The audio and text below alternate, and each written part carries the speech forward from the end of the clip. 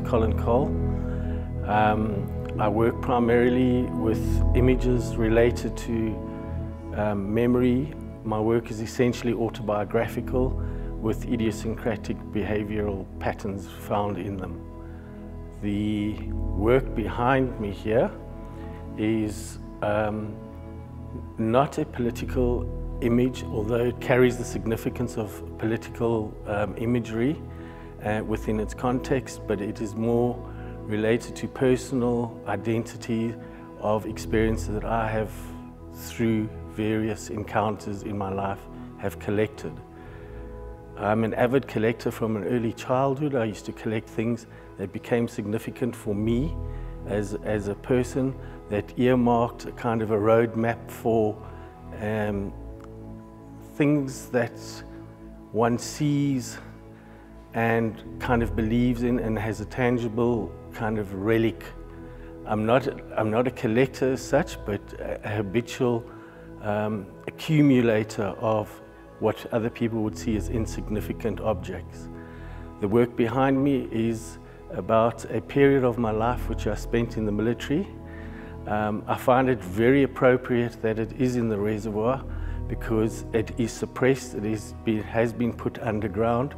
Um, wherever it's been exhibited before has never carried the significance of this now. This is a hideaway, it's almost a, a mausoleum for the work itself. So coming here yesterday and putting the work up became an important event for me in that this was the first time it, it carried the justification for me doing the work. Um, the work behind you on the wall is an accumulation collage built from um, history and its associated thing of what people do, and it's called the Unrestricted Organization of an Average Man. Then on the table around you are all items and um, kind of symbols of things that I've collected that I see and can date in memory, although memory by its by its nature is a reconstructive um, idea and it's strongly um, incorrect because it's a narrative and every time you tell a story the narrative changes and you depending on who, who you're talking to how you actually allow that narrative to unfold. Each time this work has been on exhibition it has changed significantly in terms of what I've added to it, what I've taken out of it, and what I've included through new accumulations.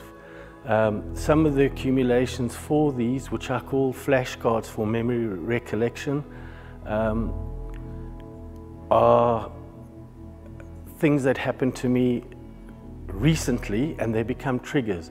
It's like when you walk into a room, you smell something and suddenly you're nine years old again.